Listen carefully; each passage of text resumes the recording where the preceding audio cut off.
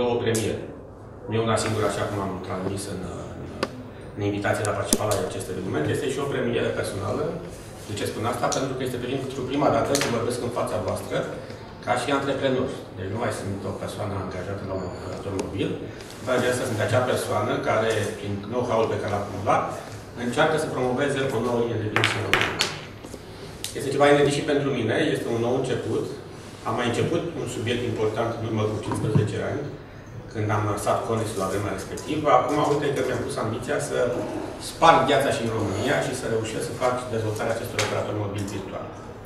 Mi-a fost evident că lucrurile nu vor putea evolua fără să existe o facilitate pentru societățile comerciale care vor să intre pe piață ca și operator mobil virtual și ăsta este motivul pentru care am încercat să identific exact care sunt barierele pe care ei le au pentru a putea să lanseze acest produs pe piața din România.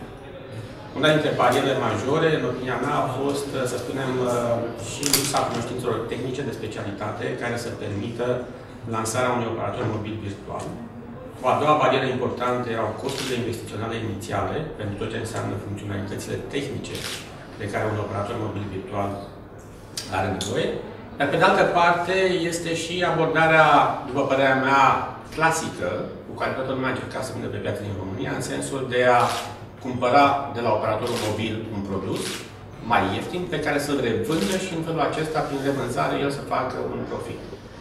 E, eu am încercat și încerc în continuare să acopăr prima dată cele două componente esențiale. Prima dată să arăt că există oportunitate de piață din România. Doi, să diminuez foarte mult costurile de intrare pe piața operatorilor mobili virtual.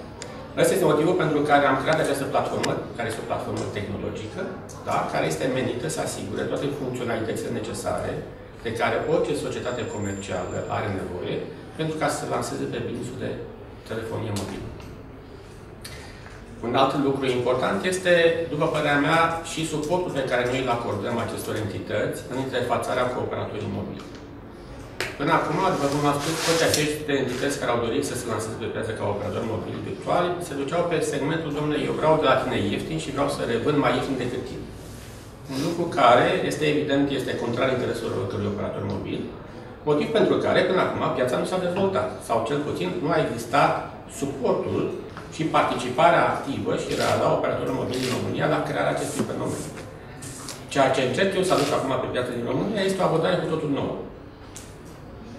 Este evident că există o competiție acerbă, acerbă pe piața de comunicații mobile din România. Toată această competiție în ultimii ani s-a dus cu preponderență pe preț și în același timp pe atragerea clientului prin intermediul subvențiilor la telefoanele mobile sau la tablete. În la urmă, un client în ziua de astăzi de ce mai optează pentru operatorul X sau Y? După părerea mea, se uită acum cu preponderență către device-ul pe care vrea să-l achiziționeze. Deci, cu alte cuvinte, piața de telecomunicații mobile din România nu prea mai are diferențiatori.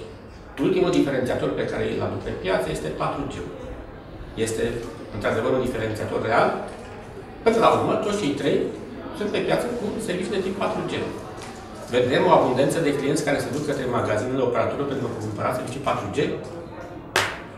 Eu nu știu, nu vreau să fac afirmații că da sau nu, dar cred că totuși 4G-ul în ziua de astăzi nu mai este acel diferențiator care a fost, după părerea mea, în urmă cu 4-5 ani, 3G-ul, care aducea lucruri noi, atât din punct de vedere tehnologic, dar cât și din punct de vedere al serviciilor care erau oferite clientului final. Și atunci este evident că și operatorii mobili au nevoie și de un diferențiator. Diferențiator care nu mai poate să vină din zona de telecomunicații. Poate să vină ca un element nou din alte industrii. Și atunci, mecanismele pe care le promovez la ora actuală este cum să folosești telefonul mobil, nu în scopul de a face bani de pe urma activității și furnizării de servicii de comunicații mobile, să faci bani de pe urma serviciilor pe care tu le furnizezi pe business tău de bază. Da? Ca de exemplu, de ce un retailer ar avea nevoie de un serviciu de telefonie mobil? Că vrea să facă bani în telefonie mobil? Da. Asta a fost conceptul la început. Ei au avut această abordare în trecut, datorită faptului că aveau o forță mare de distribuție, aveau foarte multe puncte de vânzare, da? aveau un brand puternic, da? și clientul venea în magazinele lor pentru produsele de bază pe care vrea să le achiziționeze. Și făcea un upsell pe produsul de telefonie mobil.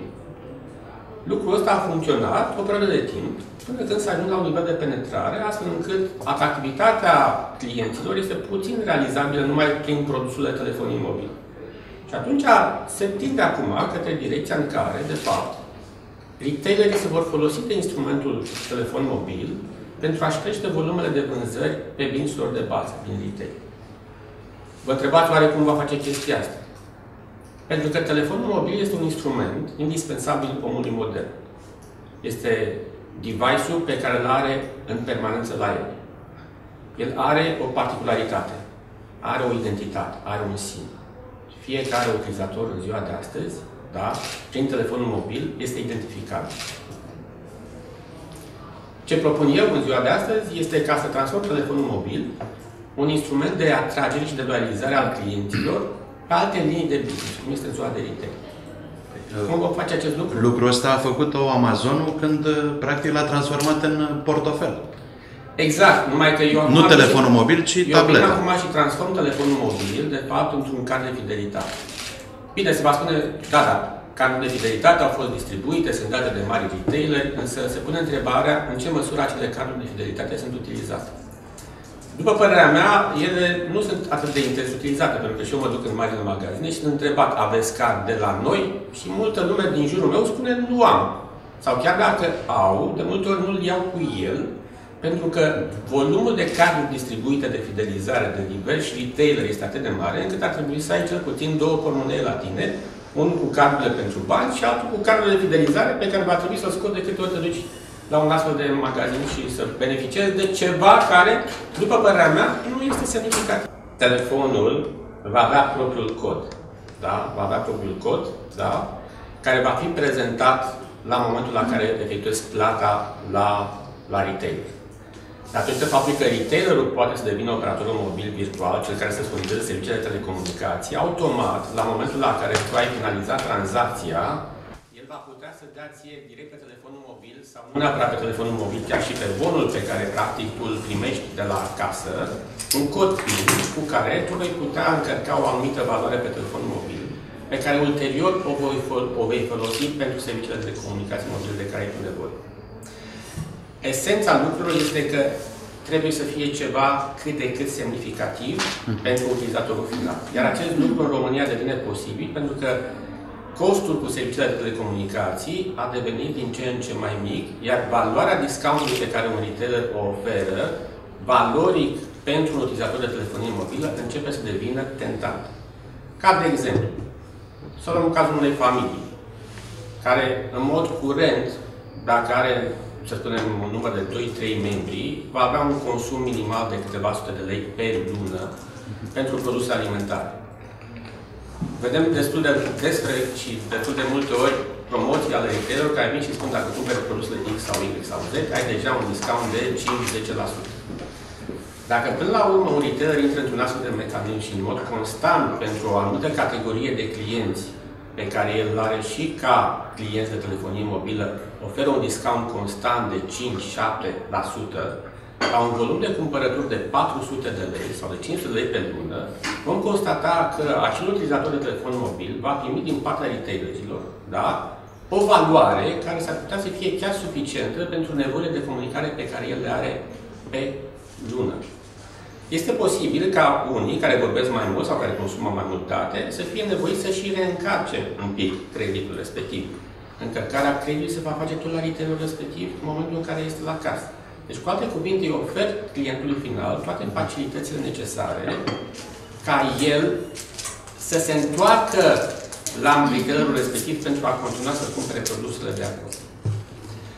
De ce v-am povestit acest mecanism? Pentru că și în zona de retail este o competiție a cerului între mari retailer, da?